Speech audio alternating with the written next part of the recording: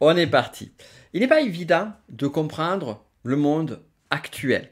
Et pour cause, celui-ci bouge très vite, il y a de nombreux facteurs qui sont à l'origine des différents événements qui peuvent arriver, que ce soit de l'ordre mondial ou de l'ordre d'un pays, ou même dans notre vie de tous les jours.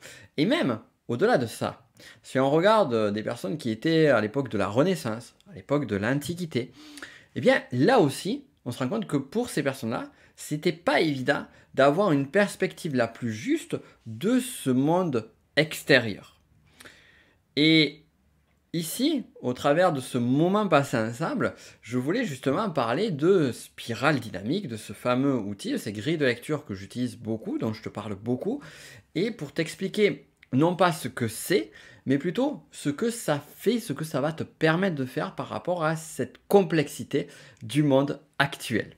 Alors je te souhaite la bienvenue.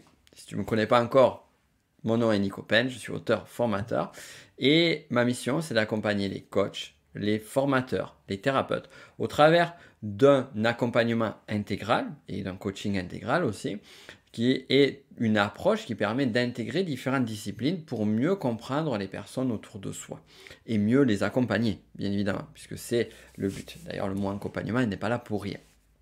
Et euh, donc, j'utilise parmi les différentes disciplines la spirale dynamique. Alors, la spirale dynamique, c'est une discipline qui a été, euh, sur son nom anglophone, qui s'appelle Spiral Dynamics, qui est issue des travaux du chercheur Claire Graves en psychologie sociale et qui après a été développée sur un modèle par Beck et Cowan qui ont créé le mot, le terme Spiral Dynamics mais après qui a été encore développé derrière par d'autres personnes, dont Ken Wilber et bien d'autres noms encore. Je ne vais pas citer toute la bibliographie. Et ce qui est intéressant aussi sur cette approche, c'est que c'est une approche évolutive. C'est une approche qui permet de comprendre les évolutions au travers d'un individu, mais aussi au travers de sociétés.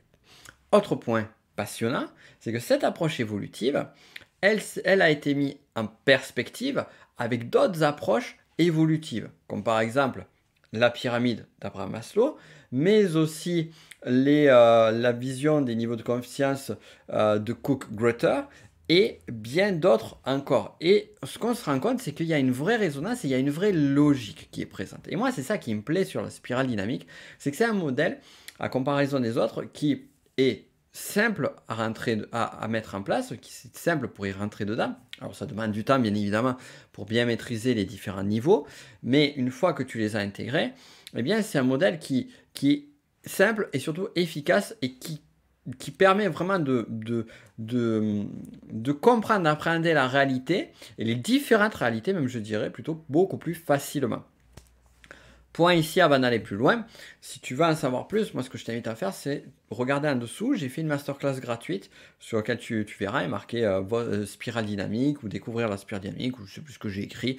Euh, donc tu regardes en description et là je vais pouvoir t'expliquer un petit peu plus en détail le fonctionnement et les différents niveaux.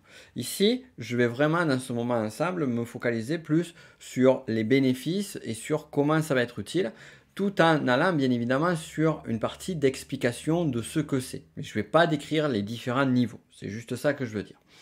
Donc pour expliquer ce que c'est, très simplement, la spirale dynamique, ça permet de comprendre les visions du monde, les systèmes de valeurs d'individus et de sociétés. Et ce qu'a constaté Claire Graves au travers de ses différentes recherches, au travers de ses étudiants et de milliers et des milliers de, dire participants, de cobayes, bref, ce qu'on veut, c'est des milliers de personnes qu'il a étudiées au fur et à mesure des années. Et euh, sur plusieurs décennies même, me semble-t-il. Euh, à minimum 7, euh, ans pour, pour, dire, pour le premier cas d'étude qu'il a fait. Et donc, il a commencé sur son premier cas d'étude, on va parler d'ailleurs de celui-là en particulier, avec ses élèves, et il s'est dit, est-ce que justement, eh bien, euh, il n'y a pas une, une substantifique, moi j'allais dire, une façon de voir le monde et la réalité, une perception de la réalité qui va être spécifique à chaque groupe d'élèves. Donc, il a fait toute une série de questionnements, il s'est rendu compte que oui, il y avait certains élèves qui avaient tendance à être plutôt dans le sacrifice de soi pour un bien futur.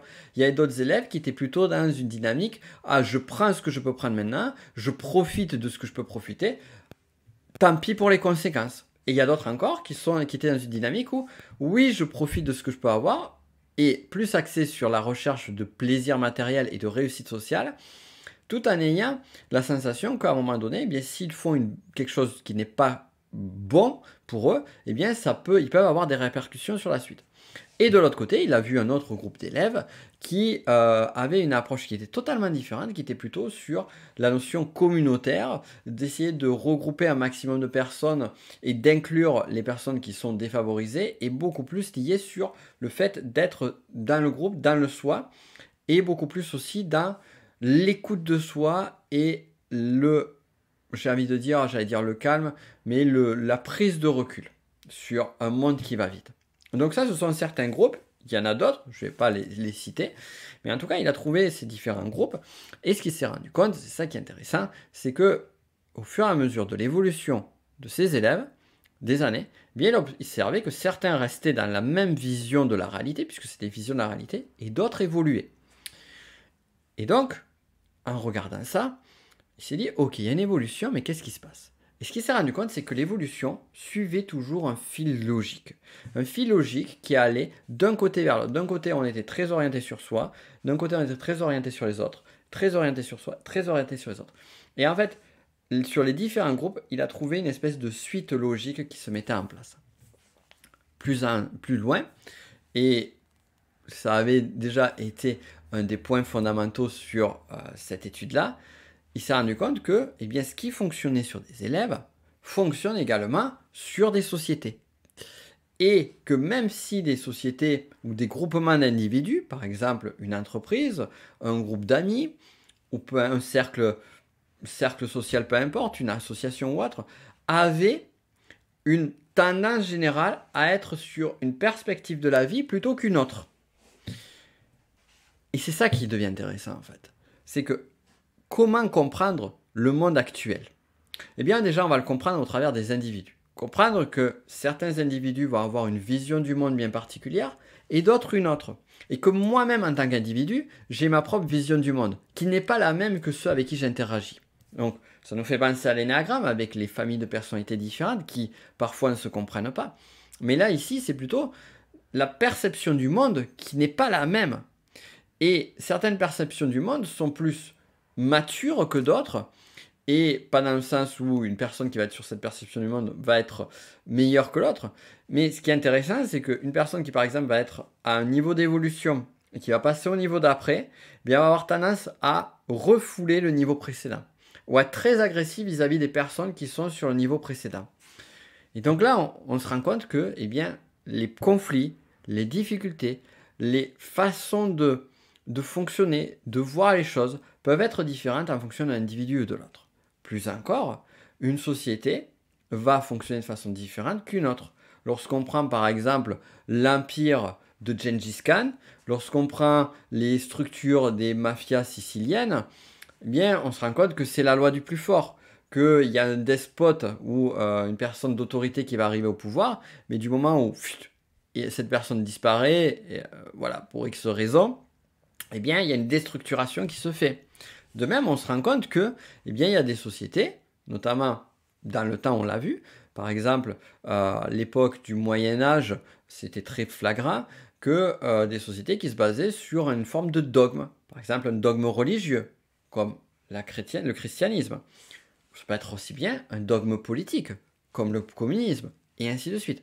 Et que des personnes qui généralement sont sur un dogme ont tendance à se sacrifier pour le collectif, ça, on peut le voir. Il suffit de regarder par exemple les extrêmes, extrême gauche, extrême droite. On va beaucoup, beaucoup voir ces notions de sacrifice de soi, ces notions extrêmes aussi, ces visions du monde très extrémistes. Et je me sacrifie pour. Euh, et, je suis très dogmatique dans le sens on a la vérité et les autres sont dans l'erreur. Ce qui amène d'ailleurs des conflits.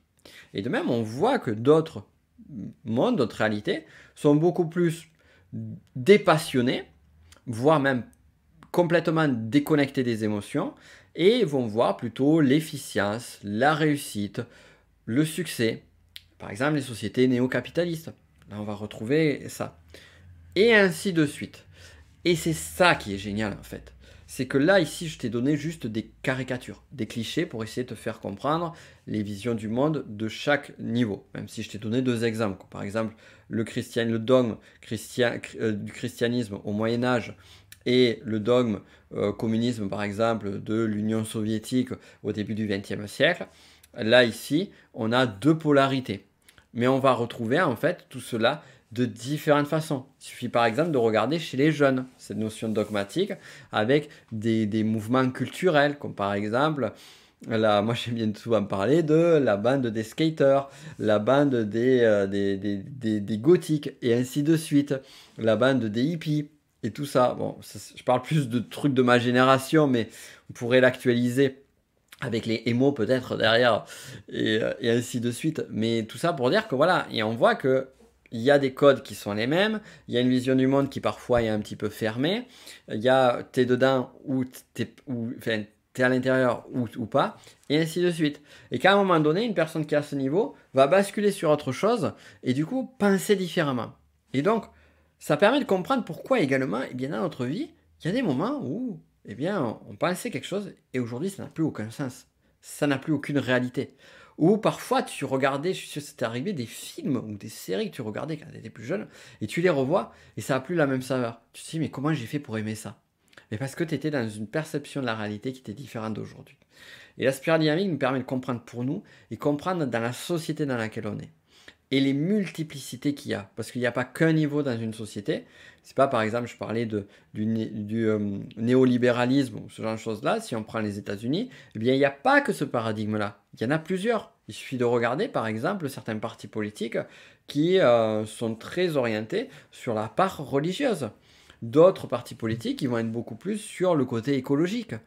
Et là, en fait, on se rend compte que dans des, un même pays, dans une même société, dans une même entreprise, dans un même groupe d'amis, euh, quel que soit le groupe social, il va y avoir différentes nuances qui vont se mettre en place. Et comprendre cela, comprendre qu'est-ce qui se joue, le voir, et toi voir comment tu réagis, comment tu t'intègres ou ne t'intègres pas dans, cet univers-là, mais c'est ça qui va t'aider à tout changer. Passionnant, n'est-ce pas, la spirale dynamique. Et donc, du coup, si tu veux aller plus loin avec moi, tu sais ce qu'il te reste à faire. Il y a la newsletter intégrale, justement déjà où je commence à te parler de la spirale dynamique assez rapidement. Mais il y a aussi surtout une masterclass gratuite que je t'invite à regarder en description sur lequel on va plus en profondeur sur ce sujet. Je te laisse regarder tout ça tranquillement et on se dit à très vite pour d'autres contenus. Si tu as des questions, n'hésite pas à les poser en commentaire aussi. Ça pourrait être le sujet d'une prochaine, d'un prochain contenu avec toi. À très vite. Ciao